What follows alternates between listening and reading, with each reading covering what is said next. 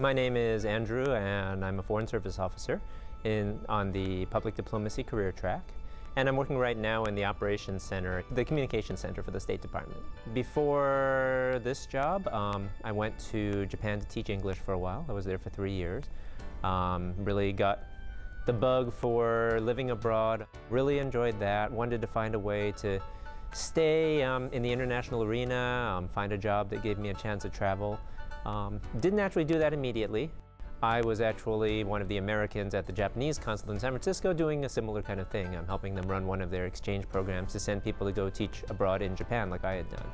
Some friends were taking the Foreign Service exam. They suggested, hey, why don't you come along? Um, I had thought about it a long time before, back in college, had never really given it that much thought. But then when the opportunity came up and my friends mentioned it, I suddenly started get, finding myself getting more and more interested all over again.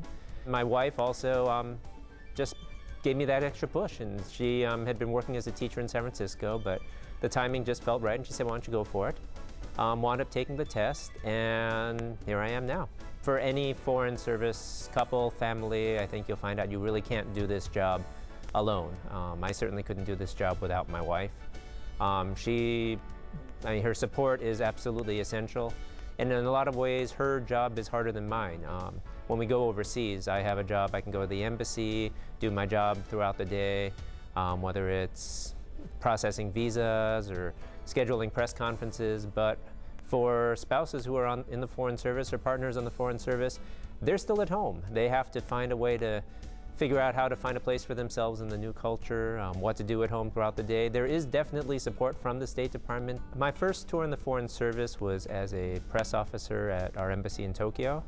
Um, so as a press officer, often I would help with different um, press interviews for VIPs or if our ambassador um, went somewhere in the country, we um, might arrange press interviews, um, press gaggles, things like that, all of the different press opportunities for them abroad. So I got to follow the ambassador, um, meet the, uh, um, the parents of this abducted girl, um, and then actually arrange for them to be able to walk that same path, um, arrange, uh, coordinate the press all the way as they talked, as they saw the house they used to live in, the school she used to go to.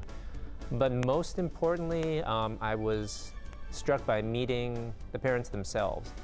Um, in this job, more than just the places that I've been to, the people that I've met have been absolutely incredible.